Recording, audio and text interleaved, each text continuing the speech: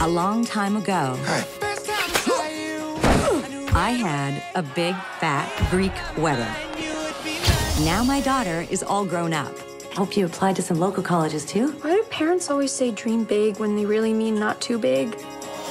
Ian and I are just trying to find a minute to ourselves. How about another date tonight? And afterward, oh, satin, slippery like an eel. You're welcome. Shave everything. You look pretty.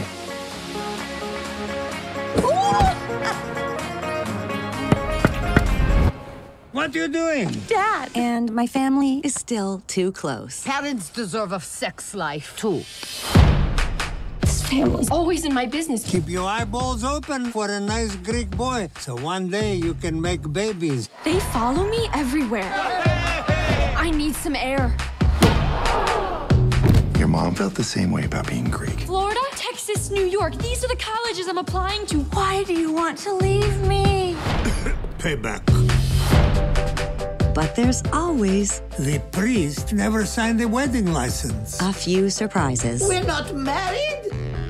I'm a hippie. Now my family has come together. Who says a woman has to be married? You. All our lives. The wedding is on.